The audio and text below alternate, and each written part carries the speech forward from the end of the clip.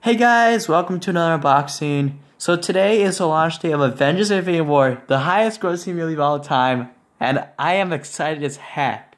So as you can see, we got the Prestige Blu-ray edition. Okay, okay, it's not Prestige, I'm just kidding. It's it's it's the average you can get at anywhere. I got this at Costco. The point is, we got Avengers Infinity War on the launch day. How cool is that? So as you can see, we got the awesome cover. Thanos, best villain. Eh, well, arguably the best villain in the MCU. We got Doctor Strange. We got every Marvel character who's part of the Avengers and in this film. It's pretty sick. So yeah. And this edition includes gag reel, deleted scenes, commentary, and a few uh, special features. About two hours of special features, to be honest. So yeah, here we go. We also got a digital code for the digital edition. So we're gonna crack open this bad boy.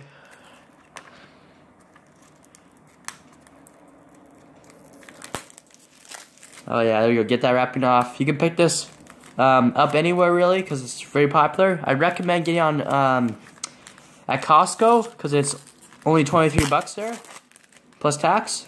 Best Buy a little bit overpriced, and Amazon it, it is not available on Amazon right now in Canada. I believe in the US though you can purchase it on Amazon. For some reason Amazon's being cheap. Okay, here we go. So we got our code right here for the digital movie. 10 years of Marvel, by the way.